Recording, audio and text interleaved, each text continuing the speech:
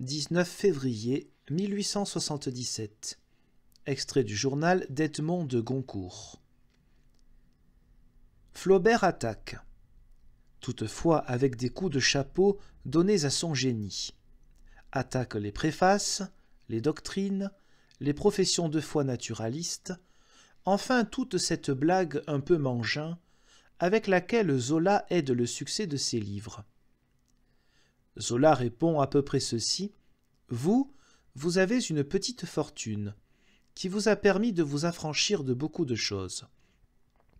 Moi qui ai gagné absolument ma vie avec ma plume, j'ai été obligé de passer par toutes sortes d'écritures honteuses. Par le journalisme, j'en ai conservé, comment vous dirais-je cela, un peu de banquisme.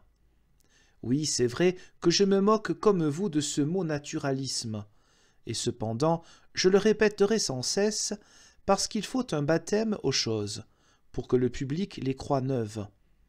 Voyez-vous, je fais deux parts dans ce que j'écris, car il y a mes œuvres, avec lesquelles on me jugera, et sur lesquelles je désire être jugé, mais il y a mon feuilleton du bien public, mes articles de Russie, ma correspondance de Marseille, qui ne me sont de rien, que je rejette, qui ne sont que la banque pour faire mousser mes livres.